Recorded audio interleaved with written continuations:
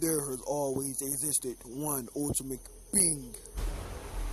The being went by the name of Jod. But after some time, Jod started to divide and formed another entity. Jod named this entity Jayton.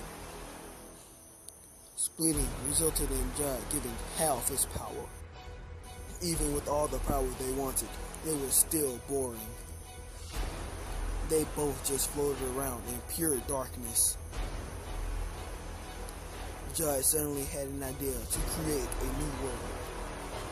Together, they created the world, and they enjoyed playing in it. Witnessing the power that Jod and himself had sparked a sense of evil from within.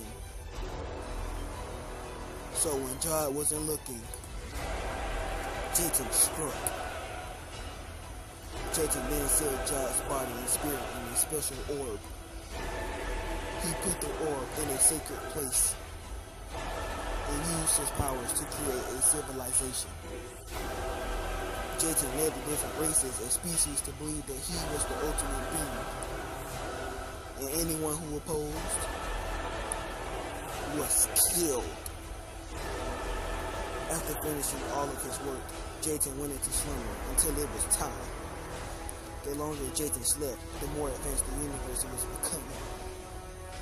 It was almost time for Jayton awakening to happen. And thus, the journey begins.